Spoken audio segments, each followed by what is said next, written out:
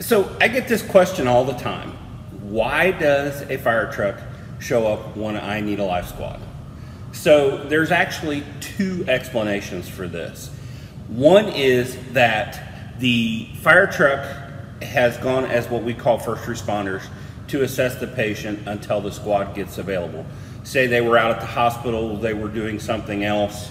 So you're going to get a fire truck um, their crew is going to assess the patient and let the squad crew know what's going on and what items they need or may need when they get there. So the other thing is what we call protocol runs. There's your chest pains, your shortness of breath, your stroke-like symptoms, your cardiac arrest. So the fire truck rolls with the life squad so that we have hands to do everything.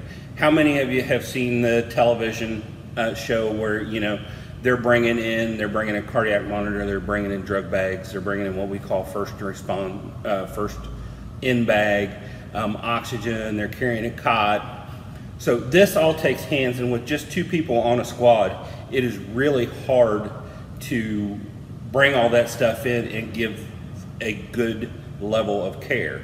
So the engine company comes in, they help us carry in our equipment.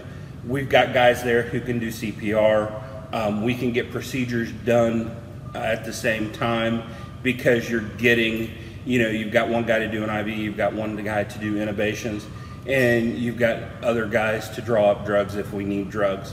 So, in a nutshell, that is why you would see a squad and a fire truck together on certain runs.